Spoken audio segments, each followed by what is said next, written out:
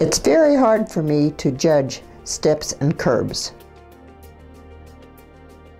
Problems with stairways and curbs is not just a depth perception problem. It is also due to the scotoma and the impaired contrast. Good visual acuity in both eyes is essential to depth perception. As soon as one eye's visual acuity drops, depth perception begins to decline. The brain analyzes the images from each eye looking at slightly different angles and defines a sense of depth.